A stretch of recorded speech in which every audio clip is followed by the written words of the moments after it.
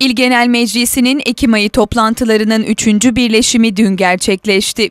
Toplantıda siyaset kısa bir süre rafa kaldırıldı, Azerbaycan'a destek olundu. Milliyetçi Hareket Partisi İl Genel Meclisi Grup Başkan Vekili Enver Koç toplantının başında söz aldı. Koç tüm meclis üyeleri olarak bayraklarla Azerbaycan'a destek olmayı teklif etti.